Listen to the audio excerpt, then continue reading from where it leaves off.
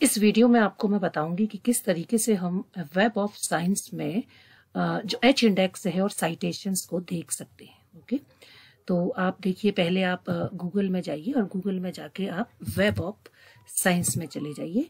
Web of Science में जाकर आप यहाँ पर अपने को आप क्या करेंगे? रजिस्टर कर लेंगे। You have to create a free account तो क्रिएट अ फ्री अकाउंट जब आप करेंगे तो वहाँ से आप एक अकाउंट अपना बनाएँगे और जब आप अकाउंट बना लेंगे, उसके बाद you can easily you can easily log in आप आसानी से लॉग इन कर लेंगे। देखिए सिंपल सा आपको यहाँ पर क्रिएट अकाउंट करना है। मैं पहले से ही यहाँ पर मैंने अपना अकाउंट क्रिएट किया हुआ है।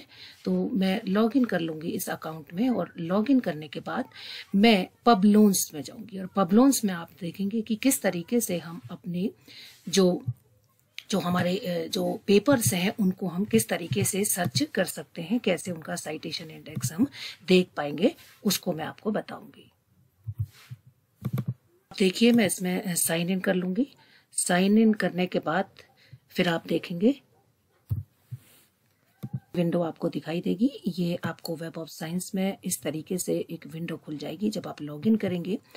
देन आप क्या करेंगे? आप चाहेंगे पबलोन्स में। तो आप सर्च करेंगे यहाँ गूगल में पबलोन्स और जब आप पबलोन्स में जाएँगे तो पबलोन्स में जाकर, क्योंकि आप ऑलरेडी रजिस्टर्ड हैं वेब ऑफ़ साइंस में तो आप यहाँ पर जाकर लॉगिन कर देंगे ओके जब आप लॉगिन करेंगे तो आप देखिए इसमें ऑटोमेटिकली आप क्या करेंगे इसमें आपका अगर अगर सेव्ड पासवर्ड है तो आप यहाँ से इजीली लॉगिन कर जाएँगे क्योंकि आप वेब ऑफ़ साइंस में पहले से ही आप रजिस्टर हैं। आपने वेब ऑफ़ साइंस में पहले से ही आपने अपने को रजिस्टर कर लिया है और उसको सेव किया हुआ पासवर्ड को तो आप देखिए आप यहाँ पर अब आपका पबलोन्स खुल जाएगा।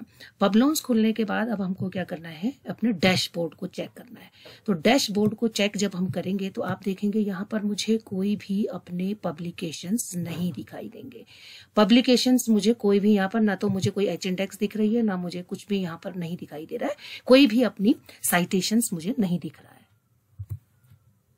मैं क्या करूँगी? मैं यहाँ पर जाऊँगी पब्लिकेशंस में ओके पब्लिकेशंस में जाऊँगी माय रिकॉर्ड्स में। और जब मैं पब्लिकेशंस में जाऊँगी तो मैं क्या करूँगी? इंपोर्ट करूँगी पब्लिकेशंस पहले मैं अपने पब्लिकेशंस को सेलेक्ट करूँगी कि मेरे पब्लिकेशंस कौन कौन से हैं, मुझे कहाँ से सेलेक्ट करने हैं अपने पब्लिकेशन ओके तो मैं यहाँ से see my Web of Science publications पर जाऊँगी। और जो भी मेरे पब्लिकेशंस होंगे, उनको मैं यहाँ से सेलेक्ट करूँगी। मुझे पता होगा कि मेरे पब्लिकेशंस कौन कौन से हैं तो मुझे यहाँ से वो पब्लिकेशंस सेलेक्ट करने हैं ओके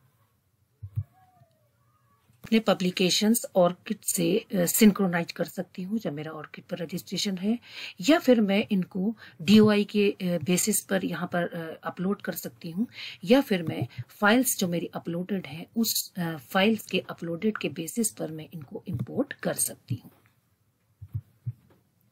सबसे पहले मैं पेपर यहाँ पर क्या करूँ? इंपोर्ट करूँ।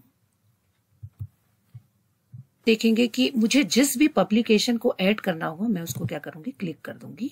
क्योंकि ये मेरे पब्लिकेशंस नहीं है। I had already added my publications मैंने अपने पब्लिकेशंस ऑलरेडी ऐड किए हुए हैं। तो जैसे मेरे ये दो पब्लिकेशन अगर हैं तो मैं फिर इसको सेलेक्ट uh, करके क्या करूँगी? सबमिट कर दूँगी।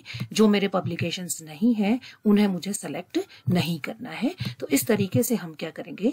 जो अपने पब्लिकेशन हैं पहले उनको सबमिट कर देंगे। फिर आप देखेंगे कि पब्लिकेशंस में जब आप जाएँगे तो पब्लिकेशंस में आपको अपने एडेड पब्लिकेशंस फिर दिखाई देने लगेंगे। देखिए, ये आप देख सकते हैं, यहाँ पर मुझे एडेड पब्लिकेशंस दिखाई देने लगे हैं अपने अब तो ये जो एडिट पब्लिकेशंस हैं, जैसे ही एडिट पब्लिकेशंस हो जाएँगे तो आप देखेंगे कि यहाँ पर ये साइटेशंस दिखा रहा है हर एक पेपर का। तो ईच पेपर का ये साइटेशंस यहाँ पर दिखाएगा और ईच पेपर का ये साइटेशन दिखाएगा तो आप अकॉर्डिंग टू यहाँ पर इसने ईयर दिखाया है कि किस ईयर में ये पब्लिश हुआ है। इस तरीके से आपको पूरी मैट्रिक्स मिलेगी, ये आपको मिल गई पर पेपर। इसके बाद अगर आपको अपनी एच इंडेक्स देखनी है, टोटल साइटेशंस देखना है तो आप डैशबोर्ड समरी में जाएँगे। देखिए, डैशबोर्ड समरी जब आप ऐड कर लेंगे तो आपको डैशबोर्ड समरी दिखाई देगी, जहाँ पर आपको देखिए अपनी एच इंडेक्स दिखाई देगी, आपको अपने साइटेशन दिखाई देंगे।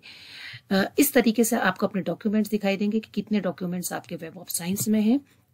और यहाँ से आप क्या कर सकते हैं देखिए ईयर वाइज भी आप अपने साइटेशंस को काउंट कर सकते हैं। देखिए 2016 2015 में आप देख रहे हैं नाइन साइटेशन देन 12 देन 4 ये जो साइटेशन हैं आप इनको ऐड करके ईयर वाइज आप टोटल साइटेशन भी पता कर सकते हैं। तो इस तरीके से हम पता कर सकते हैं कि वेब ऑफ़ साइंस में एच इंडेक्स एंड साइटेशन कितने हैं okay so thank you very much